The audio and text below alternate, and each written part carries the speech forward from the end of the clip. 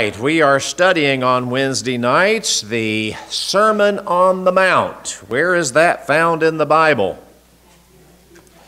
Matthew 5, 6, and 7.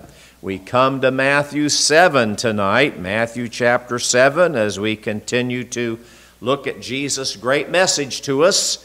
And he has some very important things to say to us in chapter number 7. We're going to look at verses 1 through 12 tonight.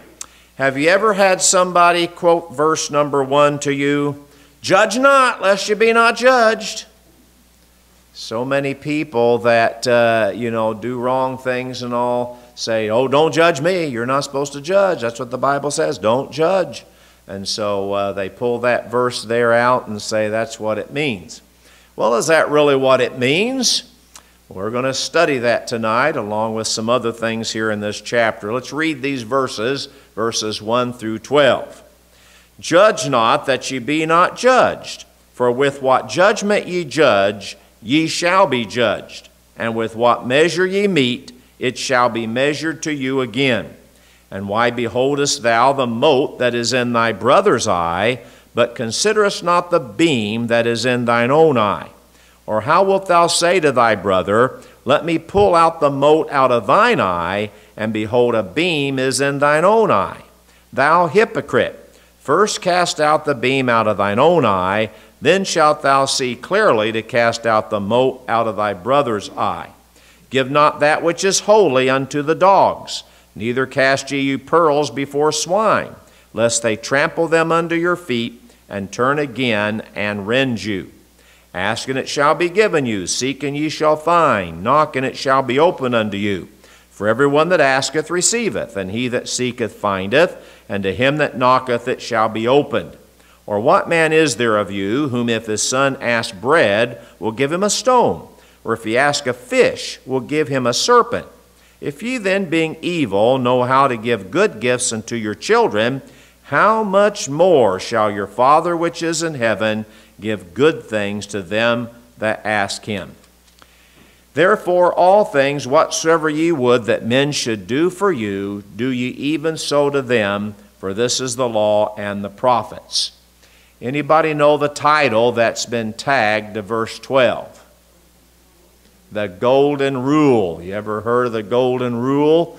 Well, that's the verse that is the Golden Rule. So, those are the verses we're going to look at tonight. And let's look at this first important matter. Judge not lest that ye be not judged, Jesus said. What in the world is he talking about?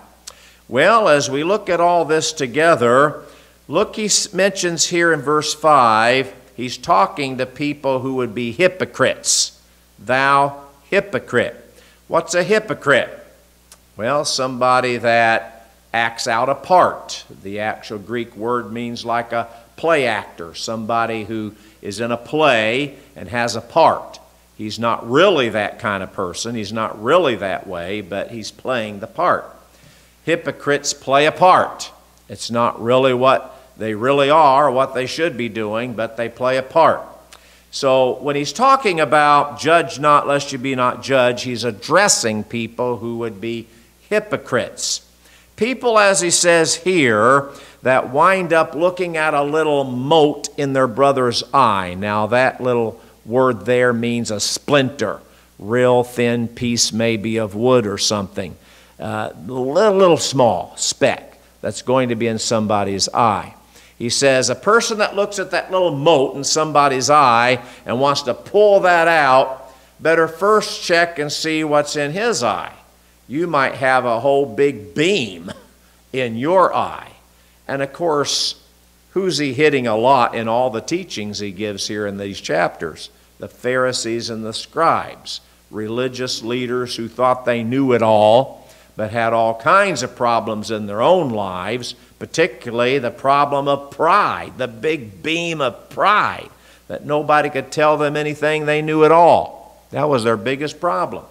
And so Jesus said, You better get that beam out of your eye if you're going to try to get little splinters out of other people's eyes.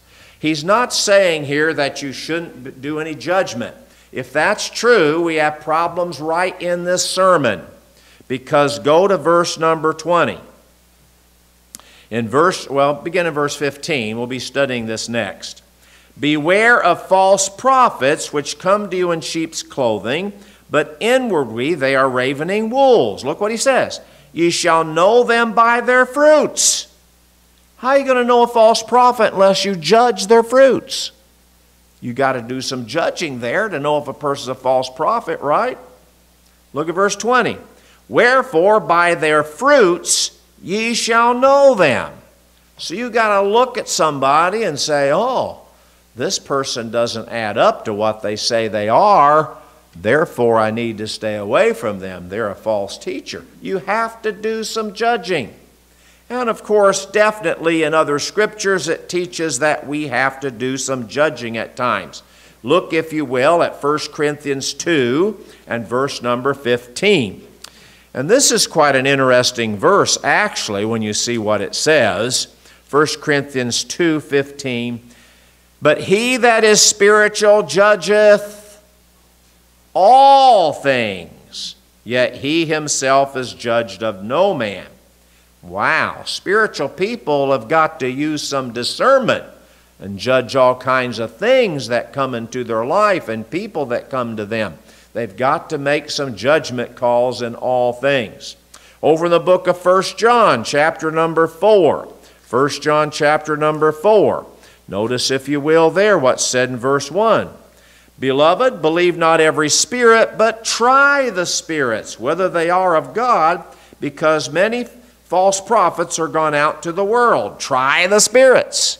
You're going to have to judge the spirits of men to see if they're really true or false. So, definitely, some judging has to be done. In fact, the whole church is supposed to do some judging at times. Go to 1 Corinthians chapter 5. Remember here, there was a man that was guilty of fornication, a real bad form of fornication, Paul mentions here, where he was having relations with his father's wife. A real sad situation there. May not have been his actual mother, but still definitely wrong to, to read about that.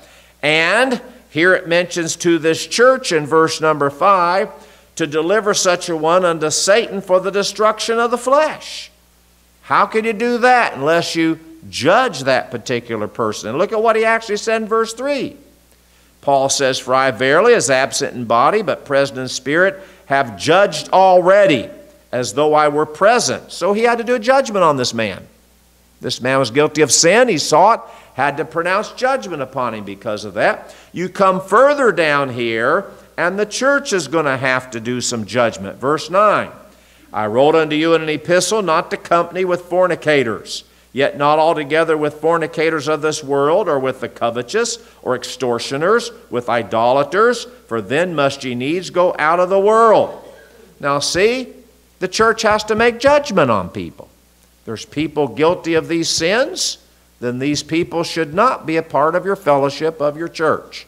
They should be excommunicated as you read on down through there. I'm not going to take time for all of it, but do look at verse 12. For what have I to do to judge them also that are without? Do not ye judge them that are within? The church has got to exercise some judgment. So when you go back to Jesus' statement in Matthew chapter 7, verse 1, it's not that you can't judge anybody. The bottom line is you need to take care of judging yourself first. Make sure things are right in your life before you go and try to help somebody else. You may have a bigger problem than they do. And you go with a bigger problem trying to help somebody with a little problem, you're being a hypocrite.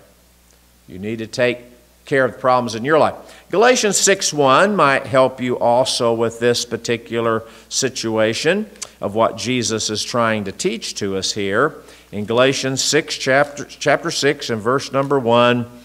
Notice what it says here. I get there finally. Brethren, if a man be overtaken in a fault, here's a judgment has to be made. A man overtaken in a fault, ye which are spiritual, restore such a one in the spirit of meekness, considering thyself, lest thou also be tempted. The spirit you go to try to help somebody with a problem or deal with them with a problem is that, hey, I could be in their shoes. Don't be high and mighty. Now, that was the problem with these Pharisees. Oh, they look down the people. They're so much above them, so they could judge anybody any way at all, but nobody better judge them because they're the big, high, prideful leaders. See, that was the problem Jesus is trying to hit here. And it has very much uh, information for us before we go and deal with somebody about their problems. Be sure our problems are handled before the Lord. Remember verse 2 For with what judgment ye judge, ye shall be judged, and with what measure ye meet, it shall be measured to you again. Be sure that when you go and deal with somebody, you're not guilty of the same thing inside. you know, it's easy to go condemn somebody else, but then perhaps you're doing the same thing on the side. Some people are hypocrites that way.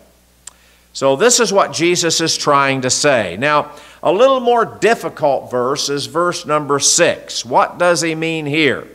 Give not that which is holy unto the dogs, neither cast ye your pearls before swine, lest they trample them under your feet and turn again and rend you. What in the world is Jesus meaning, tacking that onto the end of this section about judging? Well, give not that which is holy unto dogs. Well, he'd be talking about the truths of God. Dogs at this day and time were the Gentile people. Jews referred to them as dogs. Swine to them are unclean animals. You could not eat swine. That was against the Jewish way of eating. You don't do that. So both of these were unclean animals, you might say. He's saying, don't take the precious things of God and give them to these people who are just going to trample them underfoot. Example If you go and try to witness to an atheist, and that atheist is ground his atheism, and we should try to witness to him, but all he does is argue and put you down and slam the Lord and, and blaspheme his name. What good is it? You just have to give up and let him go. Don't cast holy things before him. You know, sometimes a person thinks, maybe I can convince this guy. you can't convince anybody of anything. It's the Holy Spirit that's got to convince them. So the best thing to do is give the gospel to these people that want to argue and want to absolutely not listen to what you say and try to give you a hard time about what you believe. Just give them the gospel so that the Holy Spirit can work on their heart. Otherwise, it's not worthwhile to try and do that effort. Now, Jesus is not saying don't give the gospel to people, but he's talking about these obstinate people, people that just won't listen the more you talk to them, the more problems you have with them. They just trample things under their feet. They're not worth that particular effort. Remember when Jesus sent out the 70? He said, When you go to a city that will not receive you, what are you supposed to do? Shake the dust off your feet and leave. In other words, if they aren't going to hear you and they're just going to trample underfoot the truth of God's word, let them be. You know, you just can't get through to them. Jesus himself could not have converts in Nazareth. The people there were prejudiced against him. And he said, A prophet has no honor in his own country. And so Jesus couldn't get through, so he had to give up in Nazareth, go other places. That's the way it had to be. And so that's what Jesus is trying to say here when you are involved in judging someone and you know somebody is one of these false prophets and they're absolutely going to tear down the Lord Jesus Christ and not listen to you and say mean and hateful things, you're better off not to cast holy things to them. Give them the gospel only and leave them alone. If they won't listen, it's on them. It's going to be on them. So that's the idea of what he's giving in verse number six. Then he talks about prayer for a little bit here. We're familiar with these verses of Scripture in verse 7 and 8. Ask and it shall be given you, seek and ye shall find, knock and it shall be opened unto you.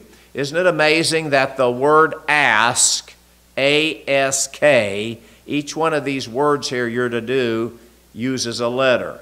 A, ask, uh, S, seek, K, knock. So ask is ask, seek, knock. Interesting how it is here. Jesus said, Everyone that asketh receiveth, and he that seeketh findeth, and to him that knocketh it shall be opened.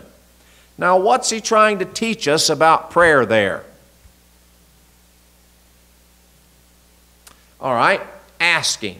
You ask for something. Initially, the first thing you do from the Lord is ask, right? But if you don't at first get an answer, what do you need to do? Seek His face more. Seeking has the idea of, boy, there's something I got to find. And I'm going to work and work and work till I find it. That's seeking. In Luke 15, there was a woman who lost a precious coin in her house. Remember, the Bible says there she swept her house and sought and sought and sought till she found it. So that's what the idea is of seeking. God wants to see sincerity on us. He wants to see we really want something, and so there's some seeking involved. Then the knocking has the idea do you quit praying? When you knock, you expect what? The door to be opened. So you keep on knocking till the answer comes. Now, God doesn't always answer the way we think that He will. He doesn't always give us everything we want. Sometimes He says, wait a while. Sometimes He says, no, that's not good for you. And you find that out as you pray over things for a while. The Lord just does not want you to have an answer that way. But you keep on knocking till the door opens and you have the answer to that particular prayer. The Bible says, pray without ceasing. Now, that's often interpreted as being in an attitude of prayer all the time, and we should be in an attitude of prayer all the time, but the real idea of that is don't stop praying for something till you get the answer. Pray without ceasing. Keep on till the answer comes. And Jesus is teaching that here. And God wants to bless us. He gives example of earthly fathers and their children. Or what man is there of you whom if his son asks bread will give him a stone? What good father would do something like that? Dad, I'm hungry. Can I have a piece of bread? And bread's just a, one of the staple things in the world at that time. Everybody ate bread every day. That's just one thing you do eat bread. So, you know, it's a staple thing. The son asked for his daily bread. Jesus said to pray for your daily bread, didn't he? So the son's asking for daily bread. And so is the father going to say, No, you get a stone? He's not going to do that. A good father is going to give him a piece of bread to satisfy his hunger. Second thing that they ate much of in that day and times, fish. Verse 10. If he ask a fish, will he give him a serpent? Can you imagine a father doing that? Father, could I have a piece of fish? No, eat the snake. Uh, a father's not going to do that. In other words, what is being said here is basically absurd. It's not at all what's going to happen. A dad who's the right kind of dad is going to give his child some food bread and fish, staple things in that day and time. He's going to give that to them to feed them when they're hungry. So, he uses that illustration to then give the illustration about God the Father. If ye then, being evil, and what does he mean by that?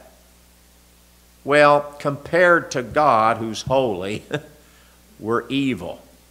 I mean, there's no comparison between God and his holiness and people because we have a big problem with sin. For all have sinned and come short of the glory of God. But anyway, that's what he's meaning. If we, being sinful creatures, know how to give good gifts unto our children, how much more shall your Father which is in heaven give good things to them that ask him? Now look at the comparison here. Here's a father, son asks for bread, gives him bread. The son asks for fish, he gives him a fish. He provides the needs of his son and he's a sinful man. He's not, not at all anything like God Almighty. So you got a holy God up here, a God who absolutely created everything, has in his power to do anything. Don't you think he's going to take care of his children? Absolutely. You ask and ask him for things, the Lord is going to give you good things to them that ask him. So often our problem comes in, and we're actually studying this in my Sunday school class this Sunday, James chapter 4. It mentions here one, one way we ask that we just don't get an answer from the Lord. In James 4, look at what it says in verse number 3. Ye ask and receive not, because ye ask amiss, that ye may consume it upon your lusts. I had a lady one time call me up, said, Pastor Gritton, I'm praying I can win the big lottery. When I win the big lottery, I am giving the church 10% of it. Boy, isn't that being so generous? She's thinking of that 90% she's going to use on herself and what she can do. I don't know what the lottery was back in that day and time, you know but that was her particular thinking. Now, what do you think that lady's really thinking about? God, I need this money. Lord, I'm going to use all this money for you. No. She's asking amiss because she wants to consume all that money on her lust. She wants it for herself to just enjoy living the way she wants to live. not forgetting God told her, You know, giving him a little piece of it anyway. Um, that's an example of asking amiss. Or, you know, if we know something definitely in Scripture that is not right, we can't expect God to change his mind and answer that particular prayer. Maybe we say, Lord, I had, I had some people do this. Lord, I like this girl over here, but she's not a Christian. Now save her so I can marry her. Yeah. Now, again, is that the reason for somebody to get saved so that they can marry you? Do you think that's a little selfish? Are you really interested in their salvation or interested in them getting married? Hmm? You can easily see what that is. Somebody told me that one time. I said, Well, I'll tell you what. You ought to pray for their salvation, whether they ever get interested in you or not. The main thing is they get saved, and I'd start there and not be worrying about whether you're going to be able to date them or whatever. You pray for their salvation. That's the most important thing. So, people, you know, ask the Lord things, but ask in the wrong way, ask amiss and oh, the problems and difficulties that can come if God would happen to answer the prayer the way that we're asking it, you know. So we could have a big problem. But God knows what we need before we ask Him, doesn't He? But He has ordained prayer as the way to get things. And in this lesson tonight, He's trying to show us exactly how we are to pray asking, seeking, knocking to a Heavenly Father who loves us and is going to do what's best for us all of the time. Well, we come to that wonderful verse, verse number 12, that we call the Golden Rule. Therefore, all things whatsoever ye would that men should do to you, do you even so to them, for this is the law and the prophets. Hmm. There's an interesting verse. How do you want people to treat you? Kindness, forgiving, loving, helping. Well, if you want them to do all those things to you, you do them to them first. Whatsoever you want people to do to you, you do it to them first of all. And then they just might turn around and do it back to you. But we're always looking, you know, I've always said this really, in the world, there are two kinds of people takers and givers. Good evaluation to see what we do with all of our things and how we live to see where we're at. Are we givers, as you look at the big picture, or are we takers in our time, in our money, in our ways of being around people and family and friends? Just how would they consider us, givers or takers? And of course, that's what it's talking about here. If you would have people to give to you and bless you, you need to give and bless them. Sometimes people say, Well, I can't ever seem to have anybody to befriend me. What's the answer to that? Be a giver and go out and find a friend. You befriend people first. Sometimes people sit and wait for people to come to them.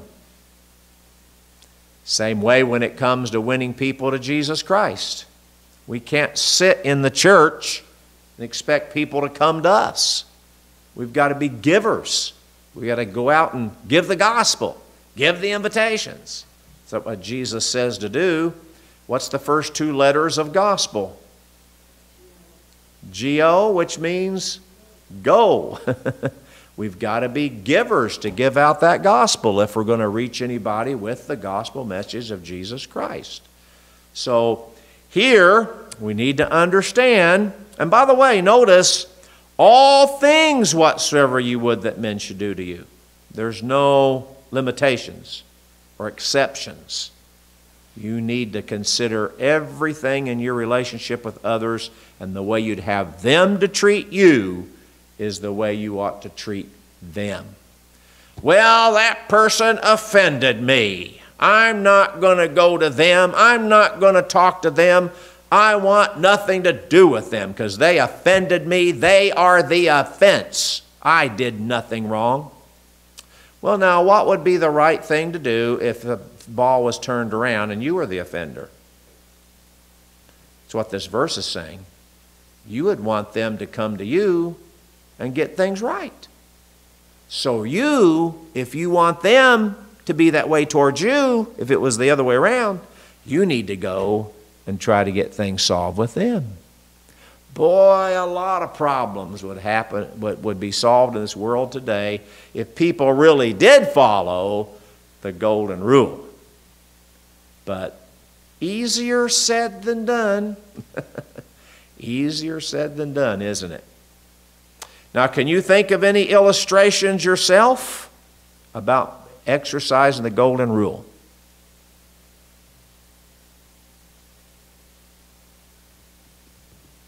None.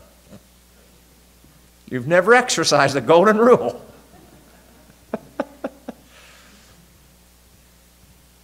well, you know, just thinking about the matter of parents and children. You know, parents are supposed to take care of their children as they're in their home and growing up, right? They should take care of their children. Children should honor their parents, obey their parents, so on. But basically, you raise them, giving them food, clothing, and shelter, and, and uh, directing them in life. And I mean, you're just very involved in their lives. Well, as you get older and they move out of the house and get their own home, what should be the natural thing that they would do back to you because you were so giving when they were growing up. To care for mom and dad and want to help you any way they possibly can. What a blessing when you see children like that. Parents were so giving to them when they're growing up, so they just naturally want to give back to their parents and do things for them and, and be so kind and helpful. That's great to have that like that right in our homes. There's an example. You practice the golden rule, can come back to you later on in life. It is. it certainly is.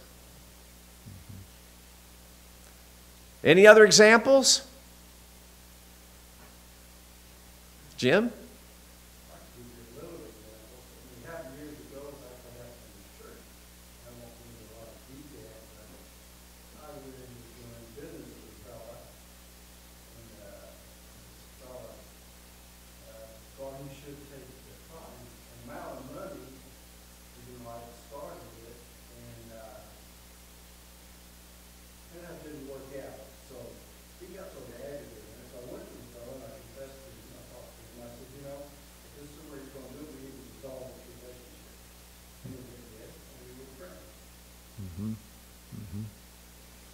You had to take the initiative in that, you know, and see what was best to do, and, and because of that, then things worked out.